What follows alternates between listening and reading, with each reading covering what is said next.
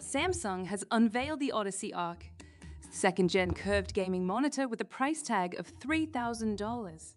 This cutting edge display boasts a 4K HD panel with a resolution of 3840x2160, a swift 165Hz refresh rate, and a lightning fast 1Hz response time. Its 1000 curvature up.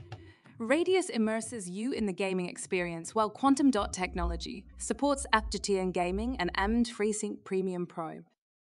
What sets this monitor apart is its multi-view technology, enabling it to simultaneously display content from up to four sources eye and portrait mode. Connectivity is top-notch with two HDMI 2, one ports, one HDMI 2.0, and one DisplayPort 1.4.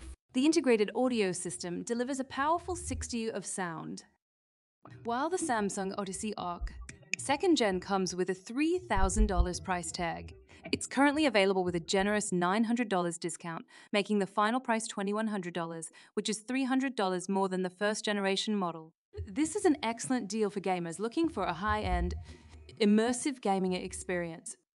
In summary, the Odyssey Ark 2nd Gen is a top tier gaming monitor with impressive specs and a competitive price, especially when considering the available discount. Gamers can expect a visually stunning and responsive gaming experience with this display.